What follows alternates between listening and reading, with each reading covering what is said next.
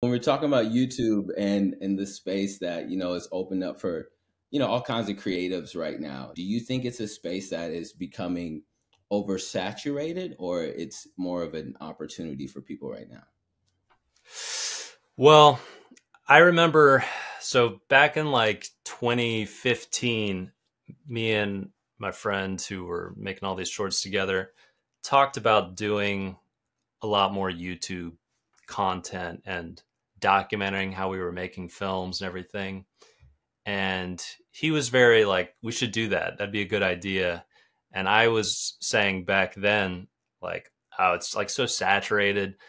People are doing all this stuff. Nobody's going to watch this. And that was like, what, eight years ago? You know, the best time to plant a tree is 10 years ago, and the second best time is today. That's what they say. And I, I feel like that's definitely the case. I don't think that YouTube is oversaturated at all. There's a lot of people out there that are making content and some of them are making films. But if you really look at it, um, a lot of them are doing very similar stuff. And I don't think it's that hard to set yourself apart in some way and to just like relentlessly play to your own advantages and your own interests and just kind of ignore everything else.